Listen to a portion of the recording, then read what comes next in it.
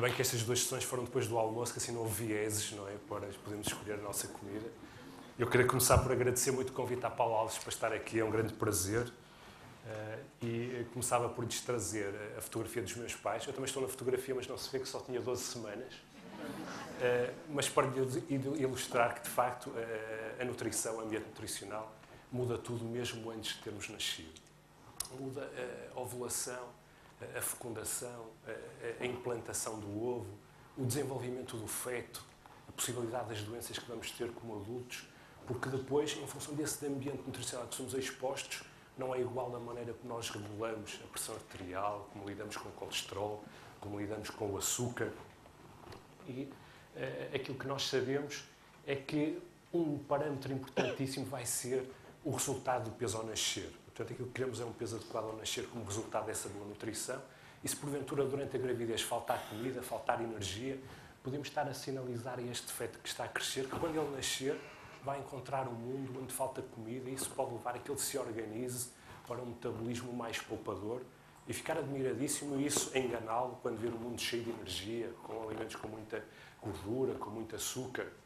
Aliás, nós em 2007 mostramos pela primeira vez que se uma mãe aumentar excessivamente de peso na gravidez, isso vai aumentar a probabilidade também de excesso de peso dos meninos. Eh, e se houver muito açúcar, e não é extremo, por exemplo, se houver diabetes estacional, esse açúcar a mais também pode eh, enganar todo o fenótipo metabólico e levar a gordura a mais. Eh, mas não é só metabolismo, é, o período fetal é para nós também um período de aprendizagem. Por exemplo, ainda antes de nascermos, já aprendemos a reconhecer a voz da mãe e a preferi-la. Eh, mas do ponto de vista da nutrição, a pergunta é: será que logo ali nós conseguimos mudar as preferências alimentares desta futura criança que vai nascer? Eh, e o meu pai, eh, quando a minha mãe estava grávida, foi para a tropa em Tavira e enviava à minha mãe cestos de laranjas do Algarve, perfumadíssimas, cheirosíssimas. Eu ainda hoje me pergunto se é por isso que eu gosto tanto de sumo de laranja. Mas se pensarmos, por exemplo, numa belíssima açorda alentejana, cheia de alhos, carregada de, um, de, de coentros, com um fiozinho de azeite. Será que isso pode chegar também? Eh, será que isso pode chegar ao feto eh, se a mãe for exposta a este mesmo perfume? E aquilo que nós sabemos é que com 12 semanas apenas nós já somos capazes de engolir. E já engolimos líquido amniótico. E às vezes as quantidades variam, desde meio litro até cerca de um litro de líquido amniótico por dia.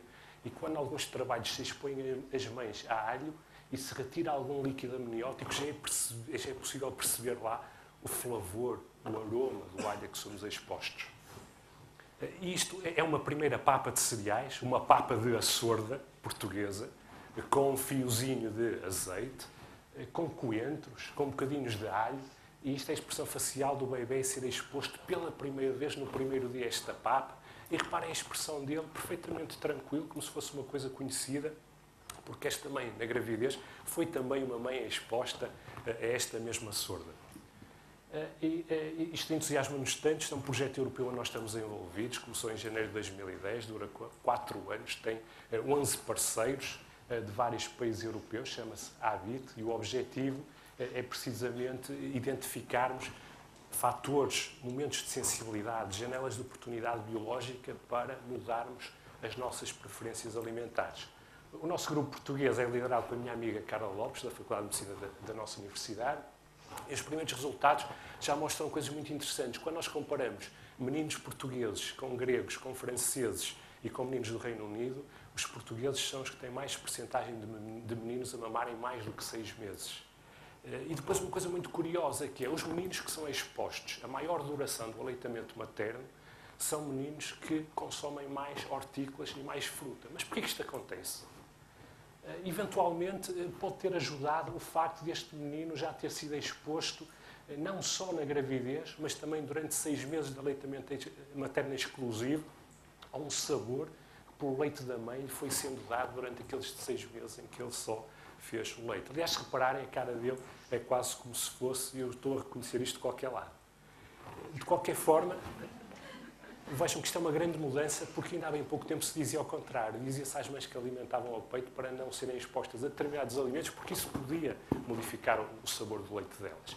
E aqui o fenómeno é precisamente o da exposição, e o primeiro momento que somos expostos a um novo alimento é muito importante, para determinar se vamos ou não vamos gostar dele. Por exemplo, se nós tivermos uh, uh, um ambiente em que os pais estão muito preocupados, estão pouco calmos, fazem refeições de muita tensão, com uma atmosfera negativa, isso pode não ser bom para que o alimento seja bem aceito pela primeira vez. E, pelo contrário, novos alimentos eh, que se vão dar pela primeira vez devem ser precisamente cozinhados com um ambiente amigo para serem mais facilmente aceitos. Eh, e todo este enfoque nos produtos hortícolas tem muito a ver com o facto dos produtos hortícolas, por um lado, não gostarem muito de ser comidos e, por outro lado, serem produtos muito amigos eh, porque são alimentos muito ricos em vitaminas, em minerais, em fibras. E nós sabemos que quem consome mais estes hortofrutícolas, especialmente os hortícolas, porque tem baixa densidade energética e tem todos estes nutrimentos, tem muitas vezes menos doença cardiovascular, tem menos obesidade que o Rodrigo falava, eh, tem menos cancros.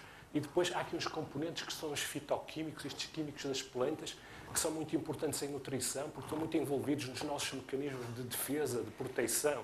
No entanto, os fitoquímicos têm um problema que são muito amargos e eventualmente eles não estarão na planta por acaso. A própria planta, nós pensamos que os fabrica como defesa do ataque dos predadores, para também não, não ser comida. E mesmo em termos evolutivos, este amargo das plantas pode ter ajudado a que durante o nosso período evolutivo nós não tivéssemos comido alimentos potencialmente tóxicos e muitas vezes a toxicidade tem a ver precisamente com a presença de alguns componentes que são amargos. Eu queria agradecer à, Jane Wardle que, nos, que, me enviou esta fotografia para nos mostrar que é de um recém-nascido exposto a umas gotinhas de uma solução açucarada e vejam também a expressão facial perfeitamente tranquila. E agora imaginem, ao mesmo recém-nascido, mas deixar cair umas gotinhas de uma solução amarga.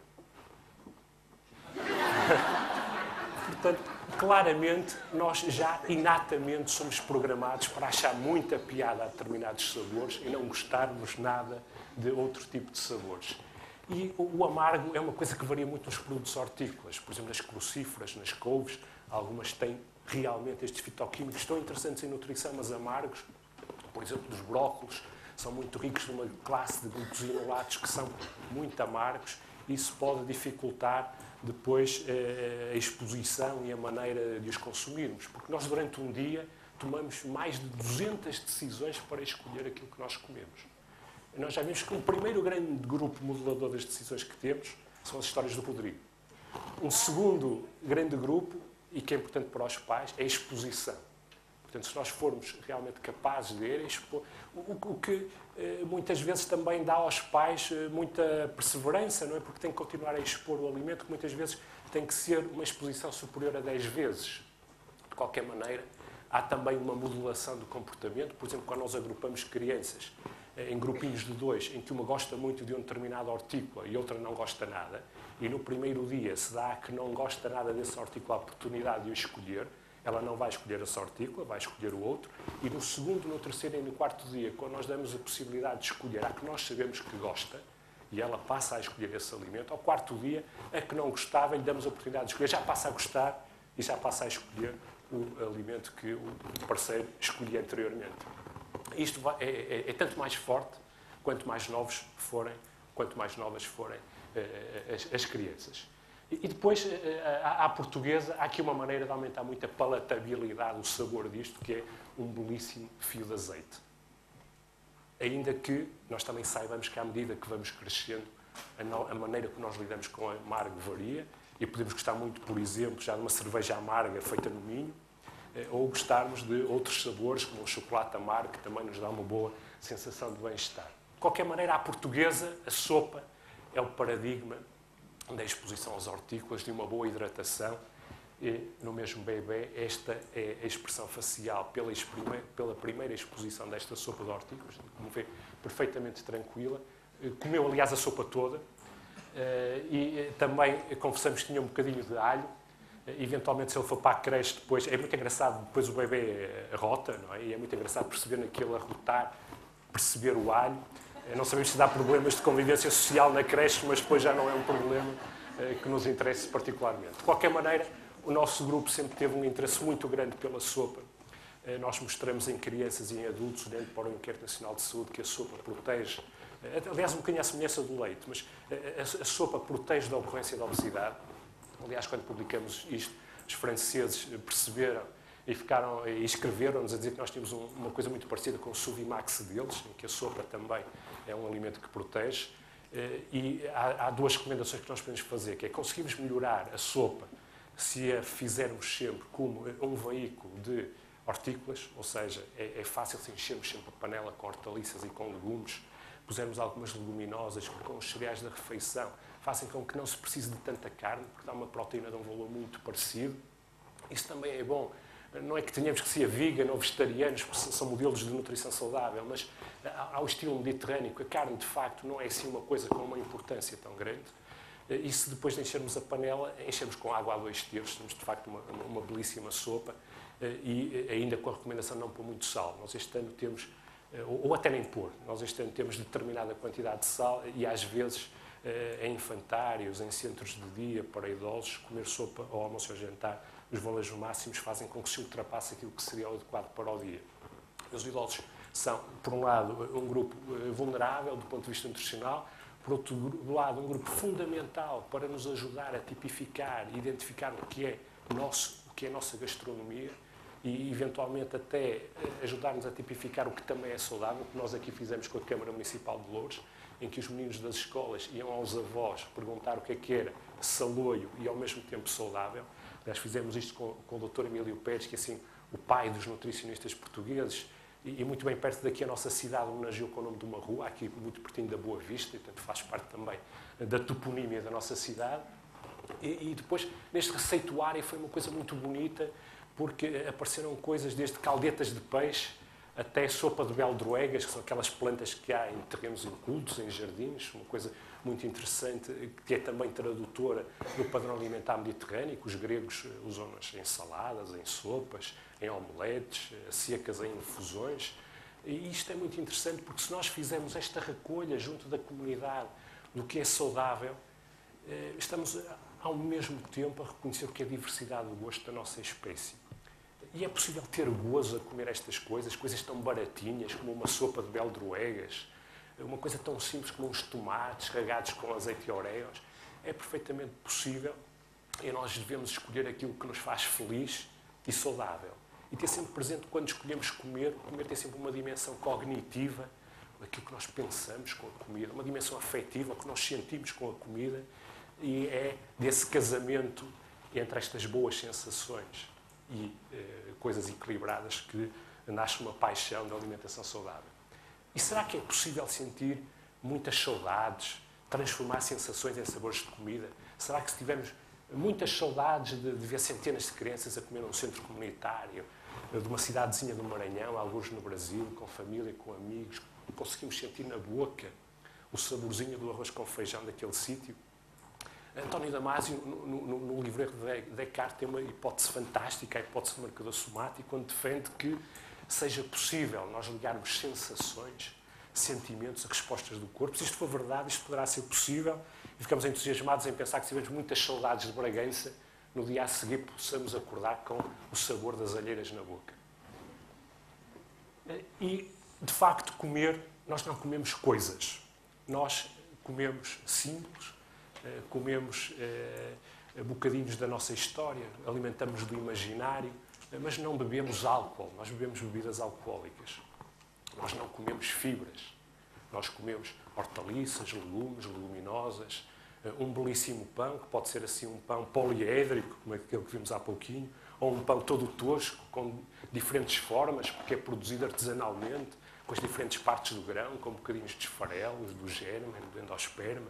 Eh, mas nós não comemos antioxidantes, nós comemos alimentos. E às vezes ficamos muito surpreendidos em investigação quando percebemos que o efeito isolado dos constituintes dos alimentos não é igual àquele que eles exibem na matriz do alimento. Por isso a unidade da nutrição é o alimento.